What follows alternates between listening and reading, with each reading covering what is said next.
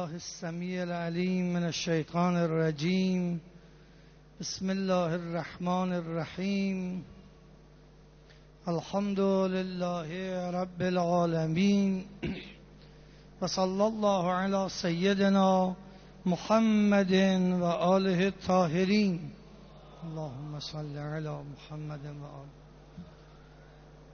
واللعن الدائم على أعدائهم أجمعين من الآن إلى قيام يوم الدين اللهم كل وليك الحجة ابن الحسن صلواتك عليه وعلى آبائه في هذه الساعة وفي كل ساعة وليا وحافظا وقائدا وناصرا ودليلا وعينا حتى تسكنه أرضك طوعا وتمتعه فيها طويلا وهب لنا رأفته ورحمته ودعاءه وخيره السلام عليك يا صاحب الزمان.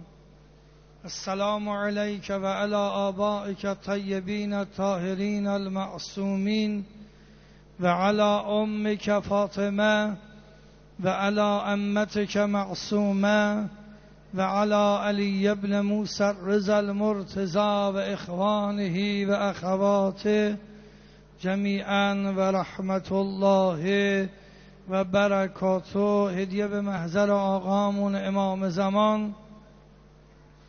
آباء گرامشون مادرشون فاطمه زهرا ام جانشون فاطمه معصومه ولی نعمتمون علی ابن موسی رضا امامزادگان این حرم انبیا اولیا شهدا صلحا امام شهیدان اموات و شهدای این جمع و این شهر و این حرم شهدای مدافع حرم صلوات محمدی ختم کنید.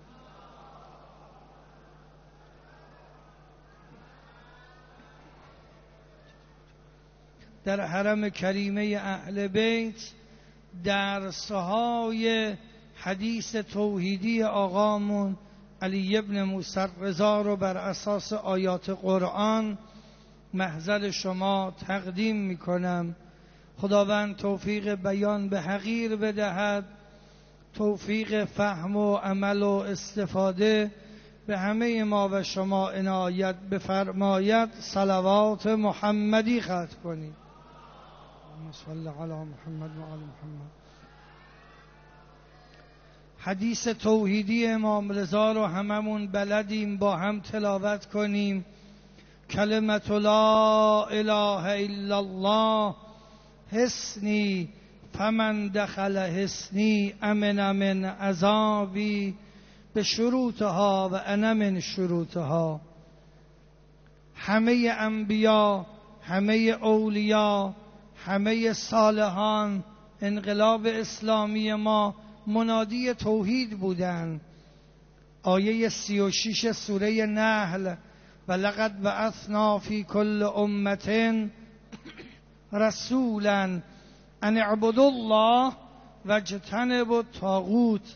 همه آمدن ما در دایره زندگی توحیدی قرار بگیریم. موحد بشیم. فقط گوینده لا اله الا الله نباشیم. زندگیمون زندگی توحیدی باشد. این حدیث درس اولش این است. امام رضا از قول خدا نقل می‌کنن حدیث قدسی است. زندگی توحیدی تربیت توحیدی تنها پناهگاه امن الهی است.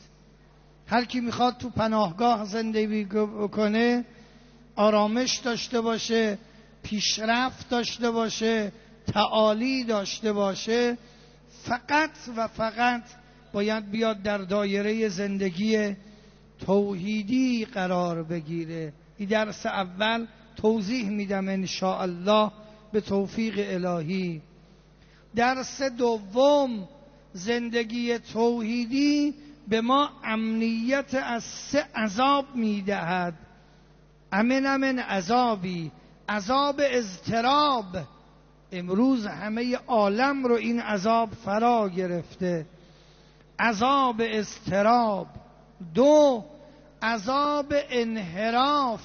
خیلی ها دارن منحرف میشن. و سه عذاب سقوط. اینا همه آیه قرآن دارد. درس سوم این حدیث توحیدی این است. تنها راه زندگی توحیدی زندگی ولایی است. زندگی بر اساس ولایت محمد و آل محمد است.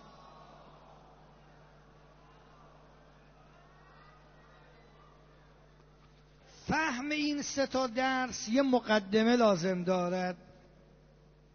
تقاضا می‌کنم همه سروران عزیز خودم زائران حرم کریمه اهل بیت این مقدمه رو دقت کنن. خدا چون این حدیث کلام خداست بخش اولش. این حدیث در واقع ترجمه آیات قرآن است که کلام خداست. خدای تبارک و تعالی خودش این عالم و خلق کرده. می‌دونه این عالم به سه دلیل این تا دلیل خوب دقت کنید. دلیل اول آرزوهای انسانها نامتناهیه. انسان آرزوهاش حوثهاش درخواستهاش خیلی زیاده. ولی امکانات و فرصتش محدوده. هم فرصت ما محدود است هم امکانات عالم محدوده. سه در این عالم رقابت عجیبی اتفاق میفته برای کس جلب امکانات و رسیدن به خواسته ها. و خدا تو وجود من و شما شهوت گذاشته غضب گذاشته وهم و خیالم گذاشته اینا رو خدا گذاشته. طبیعتا به دلیل این که این ویژگی ها تو وجود ما هست؟ این ویژگی ها تو دنیا هست؟ کمبود امکانات زیادی درخواست ها و کمبود فرصت. سه تا اتفاق بد میفته مردم سر رسیدن به آرزوهای شهوتیشون آرزوهای ثروتیشون آرزوهای ریاستیشون آرزوهای شهرتیشون اتفاقات عجیبی میفته. کشت و کشتار میشه قتل میشه قارت میشه. دنیا خاصیتش اینه. آدما توی دنیا برای رسیدن به قدرت برادر کشتن. معمون عباسی امین برادرشو بگید کش برای که به ریاست برسه. آدما برای رسیدن به شهوت به ریاست به قدرت به ثروت به شهرت از هر جنایتی دریغ نکردن. دنیا رو داریم می‌بینیم. خدا اینا رو همه رو خبر داره ها. چون خودش یه عالم رو ساخته. به من و شما یه قاعده و یه پناهگاه معرفی کرده. طبیعتا اون سه عذاب رو اول توضیح بدم. طبیعتا با این ویژگی هایی که گفتم مردم برای رسیدن به خواسته هاشون آرامش بگید. ندارن. عذاب استراب دارن. عذاب استراب دارن. تو همه چیا؟ هم تو میدان شهوت هم تو میدان قدرت هم تو میدان ریاست هم تو میدان شهرت. مردم دچار استراب میشن. متقاضی زیاده. ارزم به خدمتتون کالا کمه. ببینید خاصیت دنیاست. استراب انحراف سقوط همه ماها رو تهدید می‌کنه. نگفته اگه شما روحانی و آخون شدید تهدیدتون نمی‌کنم. نگفته اگر زائر حرم کریم اهل بیت شدید تهدیدتون نمی‌کنم. نه تهدیده. دشمنی سر راه ما قرار گرفته که محاصرمون کرده قرآن میگه. لعاتین نهم از جلو میاد پشت سر سمت راست سمت چپ. قسمم خورده ما رو بزن زمین فبه عزتک نهم اجمعین الا عبادک منهم المخلصین. حالا این دنیایی که خود خدا خلق کرده که وقتی قصه شو برای ملائک خدای تبارک و تعالی فرموده بود خب این قصه ها رو فرموده بود دیگه. و از قال ربک للملائکه انی جائل فی الارض خلیفه. خدا برای ملائک فرمود من می‌خوام تو زمین خلیفه خلق بکنم. خلیفه همونی که زندگی توحیدی داره. تو پناهگاه توحیدیه. ملائک چی گفتن؟ قالوا اتجعل فیها من یفسد فیها و یسفک الدما و نحن نسبح بحمدک و نقدس لک. قال انی اعلم ما لا تعلمون. خدا ملائک به خدا عرض کردن خدایا می‌خوای کسایی رو توی دنیا خلق کنی که استراب رو بابش کنن انحراف رو بابش کنن سقوط بکنن سر شهوتشون قدرتشون ثروتشون شهرتشون آدم بکشن بچه بکشن پدر مادر بکشن برادر خواهر بکشن. خدا فرمود شما که نمی‌دونید تو چیزایی که من می‌دونم. انی اعلم و ما لا تعلمون. بذارید انسان رو خلق بکنم. یک وجود نازنین خاتم انبیا محمد مصطفی صلی الله علیه و آله و سلم. به همه عالم میارزه. انبیا اولیا صالحان شهدا به همه عالم میاد چون اینا اومدن تو دایره زندگی توحیدی. حالا یه بار دیگه حدیث رو بخونیم درسا رو بگیم. کلمت لا اله الا الله.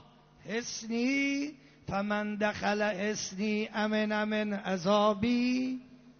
تا نریم تو دایره زندگی توحیدی. از عذاب استراب نجات پیدا نمی کنیم. الا به ذکر الله تطمئن القلوب. یه عذاب اول. چرا؟ خاصیتش هم اینه. خاصیتش هم اینه. شما وقتی تو دامن کسی باشید تو پناهگاهی باشید که از هر لحاظ مطمئن باشه هرچی هم زلزله بلرزونه شما با خیال راحت گرفتید به قول ما تق خوابیدید. حالتون رو ببرید کیف می‌کنید گاهی وقتا دیدید ماشین تو استراب خانواده تو استرابن. زلزله شده ولی بچه تو بغل مادرش راحت خوابیده. چرا؟ چون پناهگاه مادرش پناهگاه امنیه. خدا میفرماید تا نیاید تو پناهگاه زندگی توحیدی این زلزله های عالم دائما شما رو میلرزونه. زلزله شهوت زلزله قدرت. الان ببینید چه بازی برای زلزله شهوت را انداختن تو دنیا؟ متعهلا رو دارن تو خیابونا تو پای فیلم پای کانال مجازی ها پای ماهواره ها میلرزونن. چه برسه مجردا؟ این زلزله شهوته.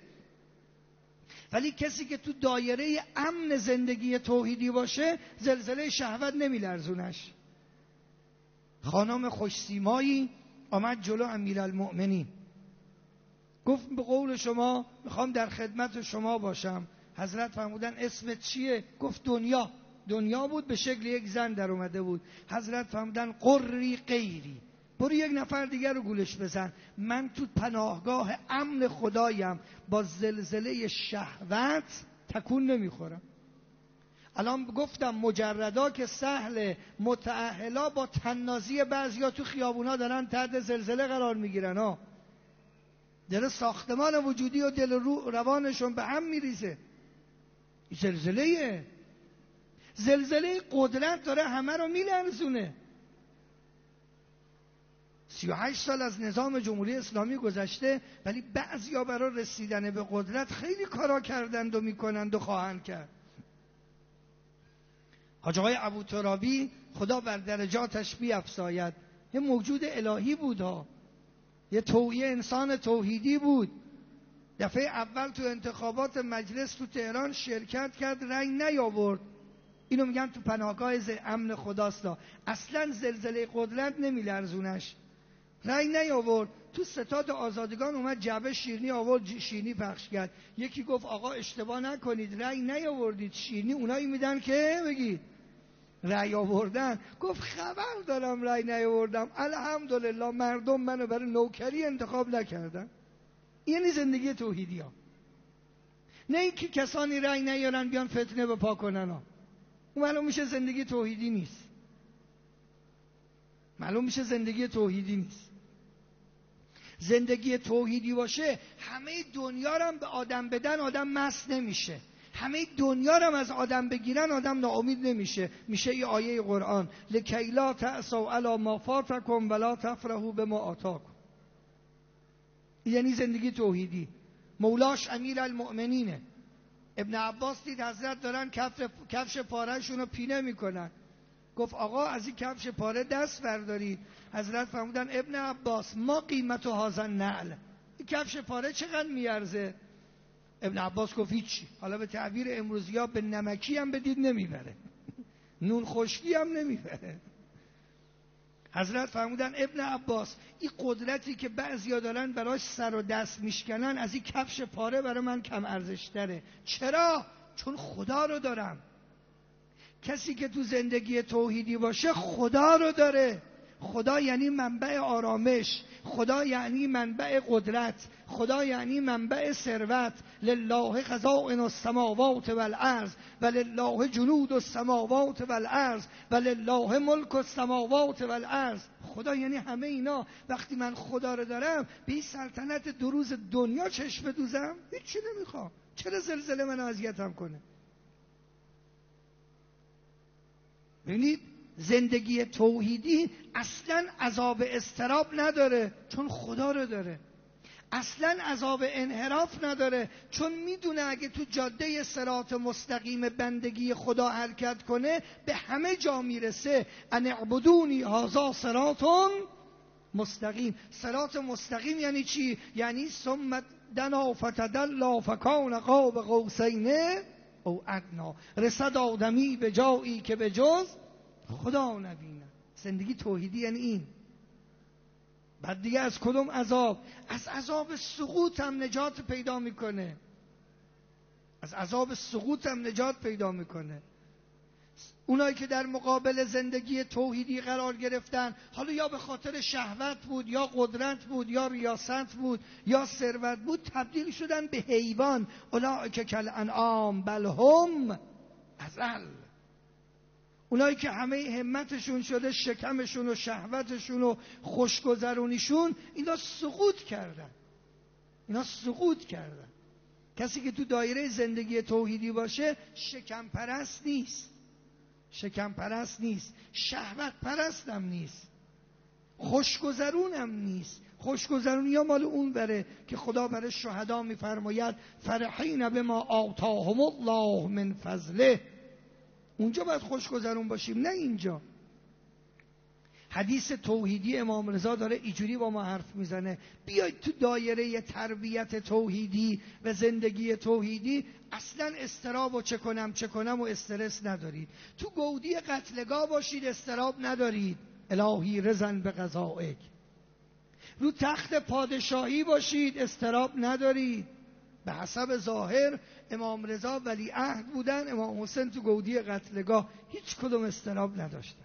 چون تو زندگی توحیدی بودن. نه امام رضا دلشون خوش بود به ولی عهدی نه امام حسین ناامید بودن از اینکه زیر سم اسبانه چون زندگی توحیدیه. زندگی توحیدی باشه آدم پولدارم باشه آرومه بی پولم باشه آرومه. ولی زندگی توحیدی نباشه هم پول داره استراب داره هم بی پول استراب داره. زندگی توحیدی باشه آدم پولدارم باشه در سرات مستقیمه بی پولم باشه تو سرات مستقیمه. زندگی توحیدی نباشه چه پولدار باشی چه بی پول باشی تو سرات انحرافی هست تو مسیر انحرافی هستی. پولداره مس میشه بی پولم خدا رو محاکمه می‌کنه. خدا چرا به ما ندادی؟ یعنی انحراف دیگه. حالا زندگی توحیدی چیه؟ سه اصل زندگی توحیدی و سه اصل زندگی ولایی رو عرض بکنم عرضم تمام. سه اصل زندگی توحیدی. اگه قرار زندگیمون توحیدی باشه فکرامون باید بر اساس قرآن و اطرت باشه. این منبع افکار توحیدیه. من سه تا نمونه براتون بگم. یک قرآن میگه ازدواج کنید تا پولدار بشید. تو جامعه ما میگن تا پولدار نشیم ازدواج بگید. این فکر توحیدی نیست. فکر توحیدی ایده ازدواج کن تو پولدار بشی. ان یکونو فقرا یغنهم الله من فضله. یعنی فکرها توحیدی نیست. قرآن میگه بچه دار بشید تا پربرکت بشید. تو جامعه ما میگن تا پولدار نشیم بچه نمیاریم. نحنو نرزقکم و ایاهم نحنو نرزقهم و ایاکم. این فکر توحیدی نیست که بگم آقا تا پولم زیاد نشه بچه نمیارم.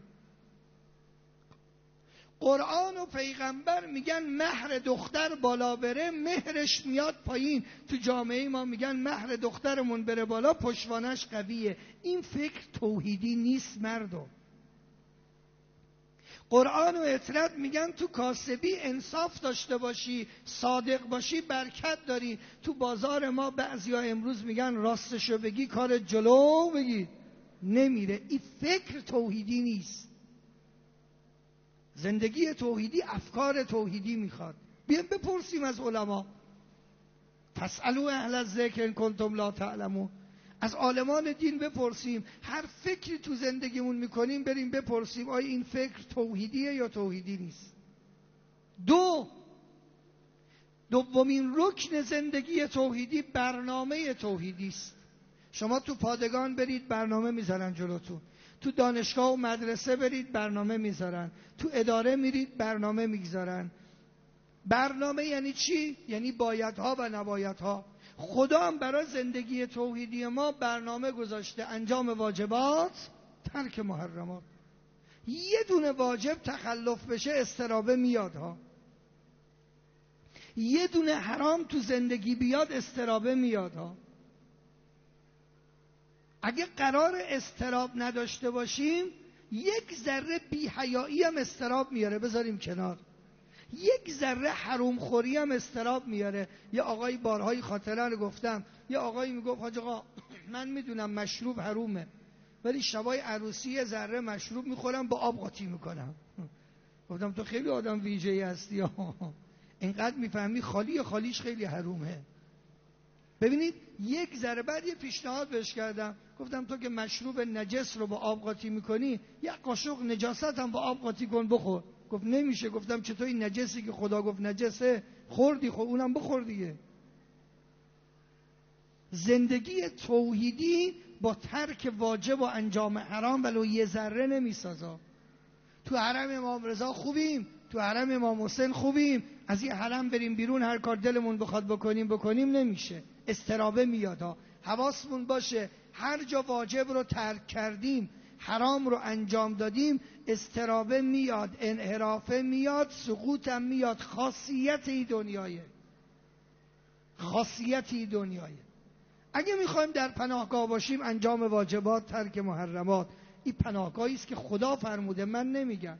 سه سومین رکن زندگی توحیدی آرزوهای توحیدی است.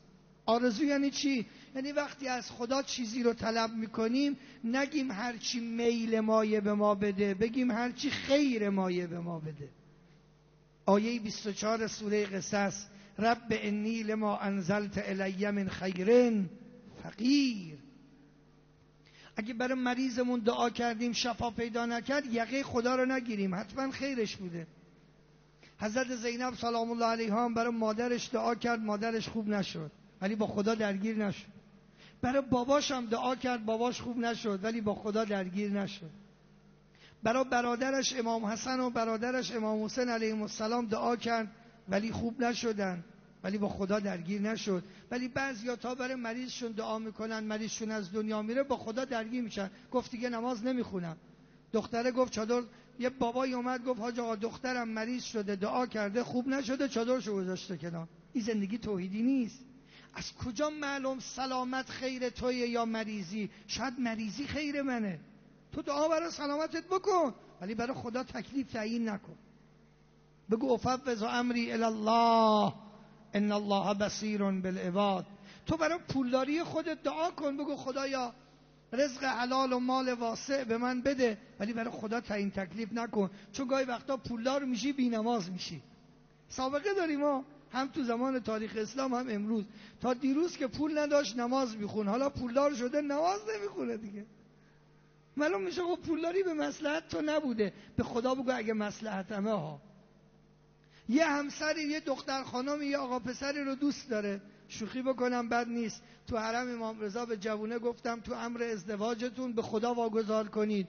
به امام رضا واگذار کنید. گفت خدا آقا من به خدا امام رضا واگذار کردم ولی گفتم همی بشه ها تکلیف براشون تعیین کردم. نه تکلیف تعیین نکنید. شاید اون موردی که تو انتخاب کردی به مسلحت تو نباشه. این میشه آرزوهای توحیدی. ما اگر زندگیمون توحید بشه یعنی افکارمون برنامهمون آرزوهامون توحیدی باشه خودمون نجات دادیم خودمون از عذاب استراب و انحراف و سقوط.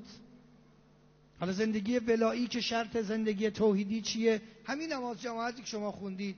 نماز جماعت زندگی ولاییه ولی متاسفانه ده دقیقه بیشتر نیست.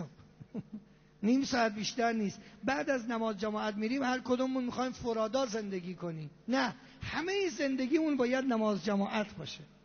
سلام نماز جماعتمون کیه؟ بلند میگن بگو لا اله الا الله. ما تو همه زندگیمون این سه شرط نماز جماعت رو باید رعایت کنیم. یک امام ما جلوی ما باشد حضرت عباسی تو عروسیامون امام رضا جلومونه. بعضیا تو عروسیاشون می امام رضا شرکت نکنن تشریف نیارن لطفا. الان ما آخوندارم دعوت نمی‌کنم میگن به درد شما نمی‌خوره آج آقا. ولی شهید مصطفی ردانی پور تو دامادیش هم امام رضا رو دعوت کرد. خدا بر درجاتش بیافزاید تو کاسبیامون اماممون جلومون باشه. تو اداراتمون. الان حضرت عباسی تو ادارات ما امام رضا جلوشونه که هر کس میاد میگن تا نرخشو ندی کار را نمیندازیم. بعد همیشه حق حساب بدن تا کارشون را بیفته بعد پارتی داشته باشن. یعنی زندگی امام رضایی. امام باید جلوی ما باشه. یک ما باید اقتدا به امام بکنیم. یعنی شبیه امام باشیم. سه ما باید تا آخر نماز پای اماممون استقامت کنیم. ان الذين قالوا ربنا الله ثم استقاموا تتنزل عليهم الملائكه ان لا تخافوا ولا تحزنوا و ابشروا بالجنه التي کنتم توعدون. اگه تا آخر زندگیمون با ولایت بودیم ما تو زندگی توحیدی هستیم.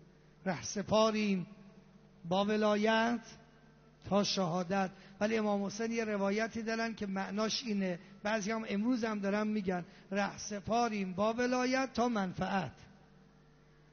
موقعی که منافعمون نباشه ولایت رو هم تنها می‌ذاریم. ولو امام حسین باشه. ولو امیر المؤمنین باشه. امام خمینی و امام خامنه‌ای که سهله. امام حسین هم تنها گذاشتن. چی فکر کردید شما؟ امام حسن هم تنها گذاشتن. امام علی هم تنها گذاشتن. اهل بیت تنها گذاشتن چون مزاحم دنیاشون بودن. کسی زندگی ولایی و توحیدی داره که تا آخر خط با ولایت بمونه. خدایا به همه ما شیرینی زندگی توحیدی را بچشان. شیرینی زندگی ولایی را بچشان. شیرینی امنیت از عذاب استراب و انحراف و سقوط را بچشان. السلام علیک یا ابل حسن دلامونو بفرستیم حرم امام رضا. خیلی با صفا بودی چند روز حرم امام رضا جای همتون خالی. السلام علیک یا ابل حسن یا علی ابن موسی. ایها الرضا یا ابن رسول الله یا حجت الله علی خلقه یا سیدنا و مولانا انا توجهنا و استشفعنا و توسلنا بك الى الله و قدمناك بین یدی حاجاتنا یا وجیها عند الله اشفع لنا عند الله اما يجيب المضطر اذا دعاه ويكشف السوء. اما يجيب المضطر اذا دعاه ويكشف السوء. اما يجيب المضطر اذا دعاه ويكشف السوء. باسمك الاعظم يا الله.